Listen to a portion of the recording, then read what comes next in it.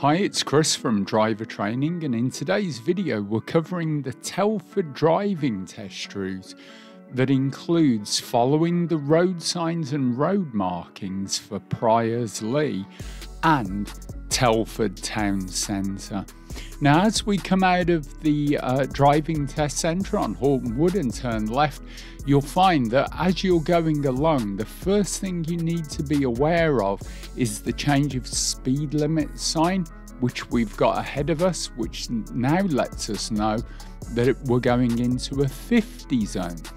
So if it's safe and you're able to do it, it's just a case of building up the speed towards it and following the road ahead.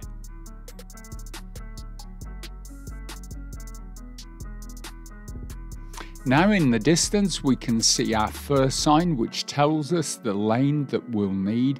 So at this point they'll be asking you to follow the signs for A442 South and other routes which you can see from that board is middle and right hand lane so choice of two lanes we pick the left hand one which equates on this occasion to that middle lane. Something to be aware of at this point is you can see from those road signs we're coming into a 30 zone, so you've got to be at 30 for those signs. Looking at the board on the right still tells us middle lane is A442 south, so now it's just a case of following that middle lane around, not crossing the white line, and just following it to where it tells us to go, which we can see again on the floor a442 south as the left lane says Trench. Now as we come down towards the traffic lights the lanes split but if we look ahead we can see we've got left lane, middle lane and right lane so we just keep in that middle lane and keep following it. This is the next part where people fail so often they see the 60s. Remember, it's not 60 until you've gone past that sign. Don't accelerate before it. Now our first board coming up we can see says Dorley, Ketley and Oakengates but it doesn't say Priorslee. So just like on your driving lessons when we say to you if we don't ask you to turn left or right, we're expecting you to follow the road ahead. The same is true when following the signs on the independent section. If it doesn't say come off at the next exit, then in other words, it's just saying keep going straight. So that's what we want to do.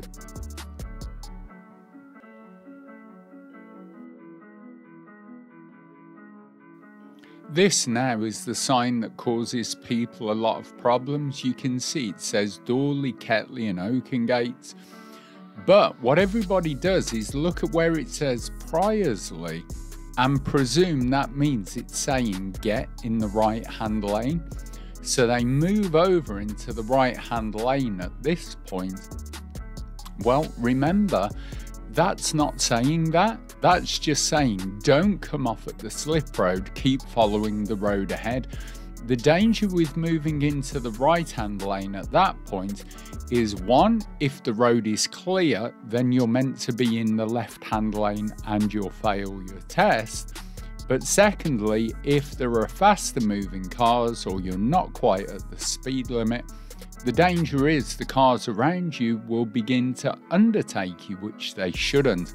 But the reason they're doing that is because you're in the right hand lane holding everyone up.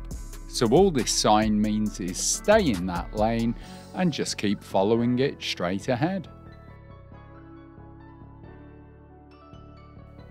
It's worth remembering, just as a rule, for every slip road going off, normally there's a slip road coming on on the other side of the bridge.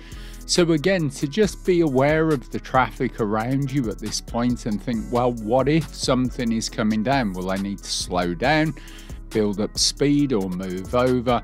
And if we're looking, we can see the car coming down, but we're not getting any closer to it. So therefore, we carry on as we are. We've got nothing to do. Road sign on the left just reminds us it's still 60 and in the distance we've got another road sign coming up. So we look it says Priorslee is still left hand lane. So we're okay. We just keep in this lane still and follow it. It's just being aware if there are slower moving vehicles, you may need to evaluate whether it's worth trying to overtake, knowing that that sign is telling you to keep in the left hand lane. If it is quite slow and you've got time to get round it, fine. But if you're unsure because you might be a bit closer to the exit, then it's better not to. So Priorslee is still left hand lane.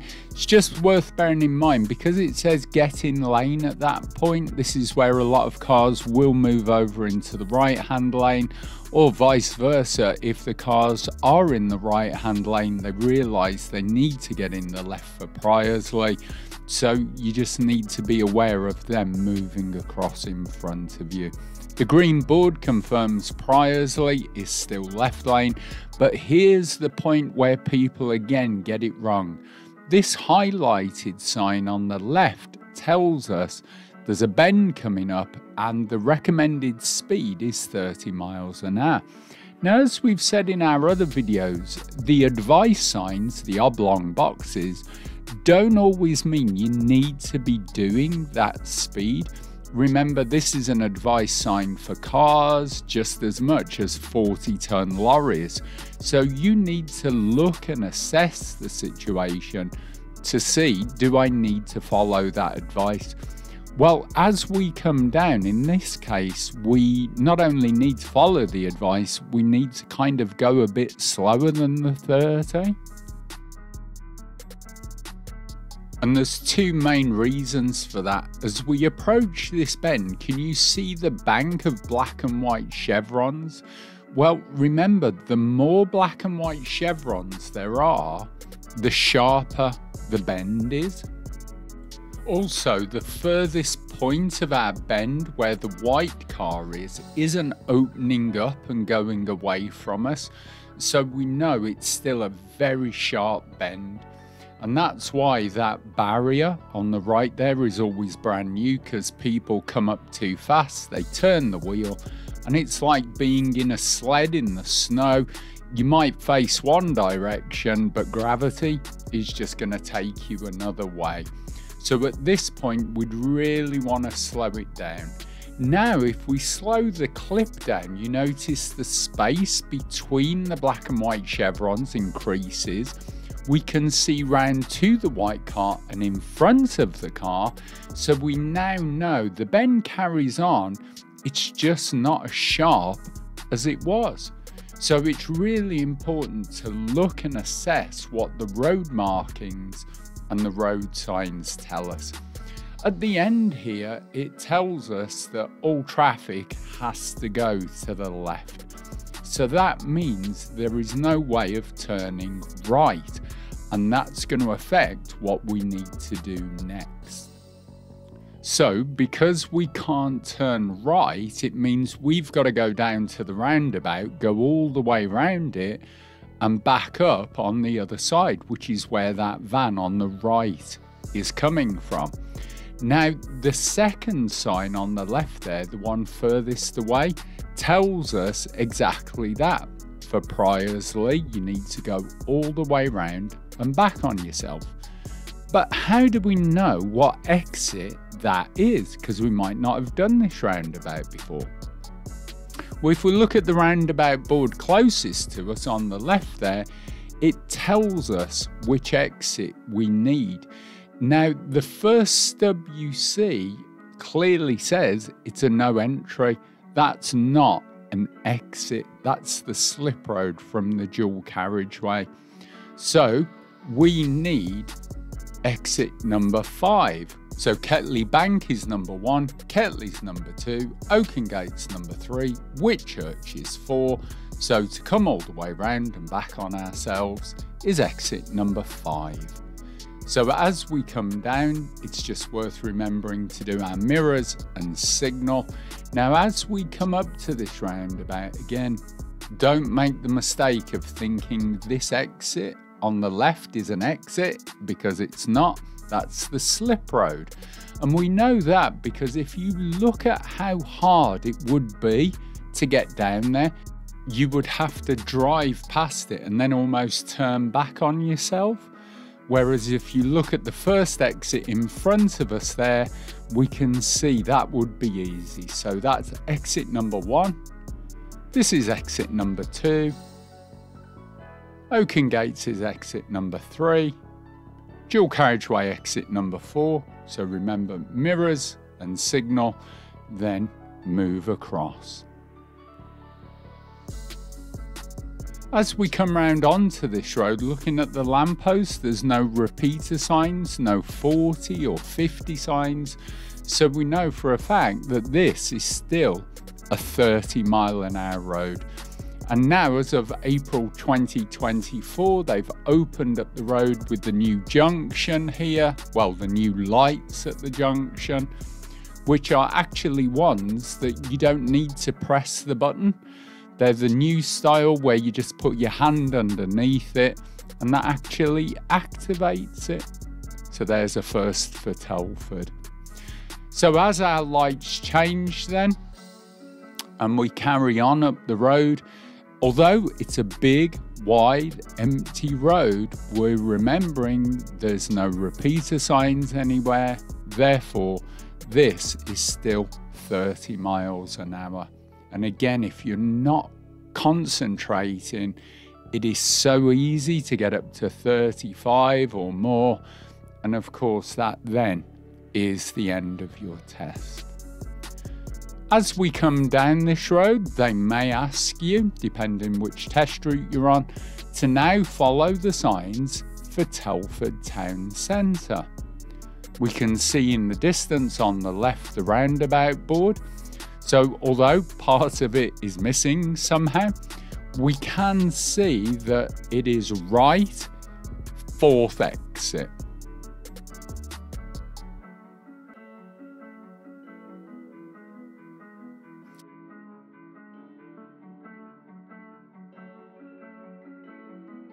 So that's one, exit number two, exit number three, so as always, mirrors and signal, off we come at exit number four. Now the bit people miss are these signs here telling us it now becomes 40. So if it's open and safe to, we want to try and build up our speed above that 30 because remember you can be failed for going too slow. But now this is the next part where people fail because having got to 40, they promptly miss these signs, which tell us the speed limit is now back to 30, and they go through 35, 36. Looking at the roundabout board, we can see Telford Town Centre is third exit. That stub that you can see isn't actually an exit that's telling us because it runs parallel that that is just the dual carriageway coming from Madeley and Sutton Hill. So that's actually the slip road coming off. That is not an exit for the roundabout. And as we come down, we look at the road marking, and that confirms town centre is indeed left hand lane, third exit. So we hope this video has helped you with your driving test here in Telford. My name's Chris from Driver Training Limited. Don't forget to leave us a comment, share and subscribe to our channel for more useful hints and tips.